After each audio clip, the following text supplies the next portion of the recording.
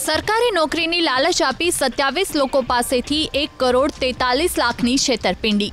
આરોપી ગઠિયો ગાંધીનગર નવા સચિવાલયમાં ઝેરોક્સ મશીન ઓપરેટર તરીકે કોન્ટ્રાક્ટ પર કામ કરતો.